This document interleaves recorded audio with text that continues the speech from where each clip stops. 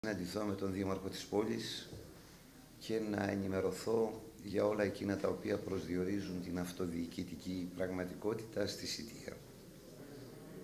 Η τοπική αυτοδιοίκηση αντιμετωπίζει προβλήματα σε σχέση με την ελλειπή έως εξαιρετικά περιορισμένη μετακίνηση οικονομικών πόρων την ώρα μάλιστα που έχει εκχωρημένες πολλές αρμοδιότητες οι οποίες για να μπορούν να υλοποιούνται και να μετουσιώνονται σε ένα καθημερινό αυτοδιοικητικό και χρήσιμο για την κοινωνία αποτέλεσμα χρειάζονται πόρους. Αυτοί οι πόροι απουσιάζουν.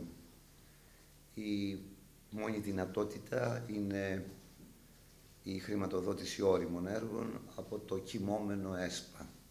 Και λέω το κοιμόμενο ΕΣΠΑ διότι υπάρχουν χρήματα τα οποία μας περιμένουν, μας περιμένουν ως χώρα αλλά δυστυχώς έχουμε ελάχιστη απορροφητικότητα την ώρα που το ΕΣΠΑ πλησιάζει και προς το τέλος της χρονικής του διαδρομής. Κατά συνέπεια το πολιτικό ζήτημα είναι ο άμεσος επανακαθορισμός των στόχων του ΕΣΠΑ, εκεί που είναι αναγκαίος, προκειμένου να απορροφηθούν χρήματα και να εκκινήσει μια αναπτυξιακή διαδικασία. Διαφορετικά δεν θα μπορέσει ο τόπος να σταθεί, να σταθεί όρθιος και μάλιστα με την κοινωνία ζωντανή. Με το δεδομένο ότι τα πρωτογενή πλεονάσματα θα απομακρύνονται ως προοπτική και στην υστέρηση εσόδων θα απαντάει η πολιτική με την περικοπή μισθών συντάξεων και κοινωνικών δαπανών. Εγώ ευχαριστώ τον κύριο Δήμαρχο για την ενημέρωση, για την πολύ συστηματική ενημέρωση και θέλω να σας πω ότι η Δημοκρατική Αριστερά στηρίζει, είναι συμπαραστάτης σε αυτή την προσπάθεια της τοπικής αυτοδιοίκησης και σε ό,τι αφορά αναπτυξιακούς στόχους και σε ό,τι έχει σχέση με τη δημιουργία αναγκαίων και χρήσιμων έργων και βεβαίως συμπαριστάμεθα στο δίχτυ κοινωνικής αλληλεγγύης που πρέπει η τοπική αυτοδιοίκηση να αναπτύσσει ιδιαίτερα σε μια περίοδο όπου μεγάλα στρώματα της ελληνικής κοινωνίας δεινοπαθούν, ζουν κάτω από το όριο της φτώχειας. Κύριε Δήμαρχε, σας ευχαριστώ.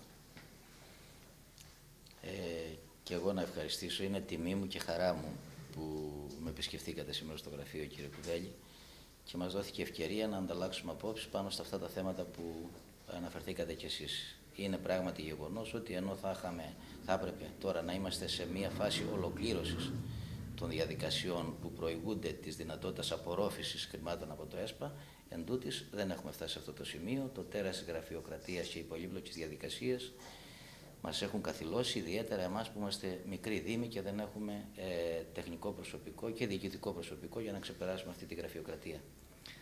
Ας ελπίσουμε ότι η νέα κυβέρνηση η οποία θα προκύψει σε μια λογική καλή συνεργασίας των κομμάτων που θα τη συγκροτήσουν, αν είναι πολυκομματική, να ε, μας βοηθήσουν και εμάς σαν αυτοδιοίκηση.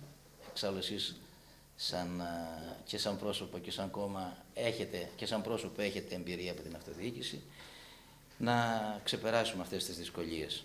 Ε, σαν Δήμος, σας ανέφερα τα προβλήματα τα οποία έχουμε, τα έργα τα οποία θέλουμε να προωθηθούν και να, γιατί αυτά θα βοηθήσουν την ανάπτυξη του Δήμου μας, ο οποίος ε, θεωρώ ότι ναι μεν τώρα είναι σε μια αναπτυξιακή πορεία, αλλά θέλει εκείνο το επιπλέον ε, ποσό στήριξης, είτε υλικό, είτε ηθικό, είτε συναισθηματικό, όλα αυτά παίζουν ρόλο για να ε, προχωρήσουμε ακόμη παραπέρα.